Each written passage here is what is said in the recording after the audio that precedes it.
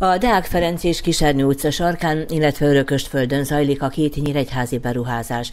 A terveknek megfelelően haladnak a munkákkal.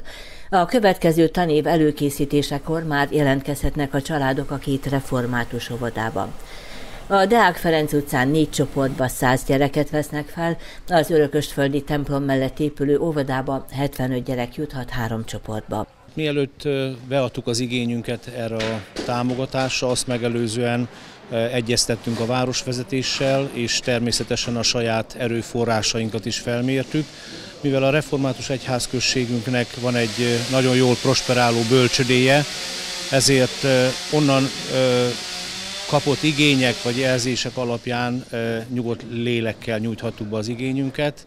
A város demográfiai fejlődése is azt mutatja, hogy szükség van az újabb nemzedék nevelésére, tehát nagy a reménységünk arra, hogy a bölcsődei nevelés után a szülők megtalálják a folyamatosságot, illetve az sem rejtett dolog, hogy az egyházközségünk tudatosan építi fel az oktatási rendszerét. A harmadik évtizede működő református jókai iskola jó hírneve is arra kötelezte az egyházat, hogy ne maradjon ki a nevelésben az óvodáskor három éves időszaka.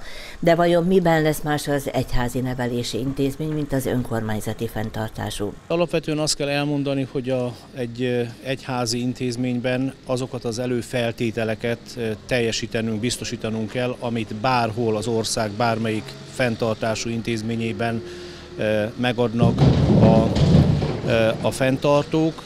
Emellett mi szeretnénk azokat az értékeket hozzátenni, ami a Biblia tanítása alapján ebben a nagyon zűrzavaros és a gyermekek számára is egyre komolyabb kihívást jelentő világban nyugalmat és biztonságot jelentenek.